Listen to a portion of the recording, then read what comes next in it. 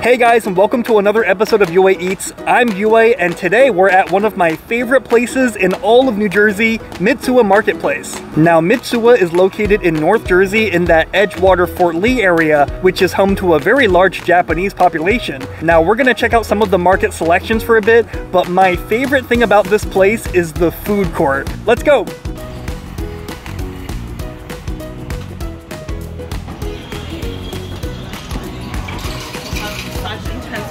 Alright guys, so we're here in Mitsuwa Marketplace here in Edgewater or Fort Lee, I'm not sure which of these this is. And it's a pretty cool market with all sorts of Japanese ingredients and produce. But I saw something that's calling my name.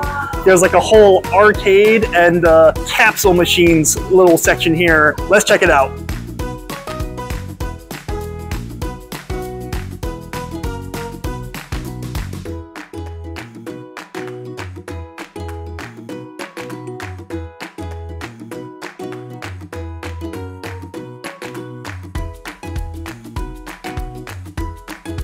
Now they have some delicate Japanese snacks that you're only gonna get at Japanese grocery stores. And every Japanese market needs a selection of fresh fish. Now if you guys have any kids, they sell Pokemon face masks. Are you Team Pikachu, Team Eevee, or me, I'm Team Slowpoke. These are just the most perfect strawberries I've ever seen. They look like they're from a cartoon. They've got a whole wall of Pocky here. I'm a huge Pocky fan, by the way. Ah, Wagyu steak. This one isn't too pricey. That's enough shopping though, let's check out the food court. Now this place Hannosuke specializes in tempura, and they have all sorts of combination plates here. There's a ramen shop with all sorts of ramen styles from all over Japan. This place sells all sorts of miscellaneous Japanese foods like katsu, broiled fish, and Japanese curry. People don't realize that curry is a big thing in Japan. And this place, Tokyo Hanten, sells all sorts of Japaneseified international foods like Hamburg steak, Chinese mapo dumplings, kimchi fried rice, seafood stir fries, and more.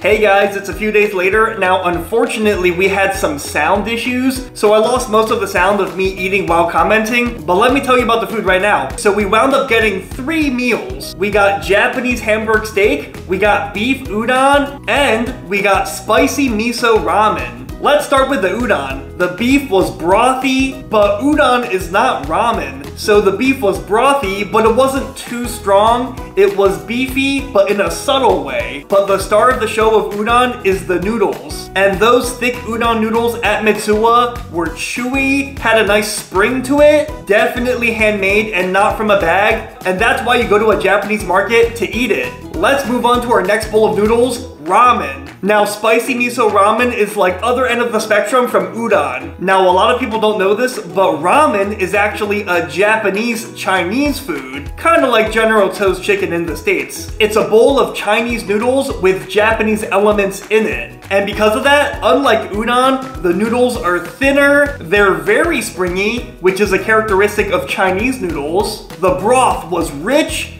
fatty, really porky and meaty, delicious, and the best part, that piece of pork chashu, it was fatty and it melted in your mouth. Last, but in my opinion not least, Japanese Hamburg steak. Now, I really wanted to show you guys this because it was really unique and it's not a Japanese food that you hear about every day and many of you might not even know about it. Now, true to its German roots, you get a piece of meat in hamburger form, a ground beef patty, but served next to a bed of rice. And that sauce, totally Asian sauce. Soy sauce based, chili oil showing some of that Chinese influence. And let me tell you, I never knew that Hamburg steak and fried rice was such a great combination. With that Asian sauce on top, mix it with that fluffy starchy rice, oh, it just works. Don't knock it till you try it. And the last thing that I wanted to highlight, they gave me some chicken soup to pair with my Hamburg steak. And it wasn't just a throwaway cheap appetizer. That chicken soup you could taste was made from real chicken bones, definitely not from a can. You could really taste that chicken essence in every drop. Not an exaggeration, I see why they gave it in a cup because I downed it in just two gulps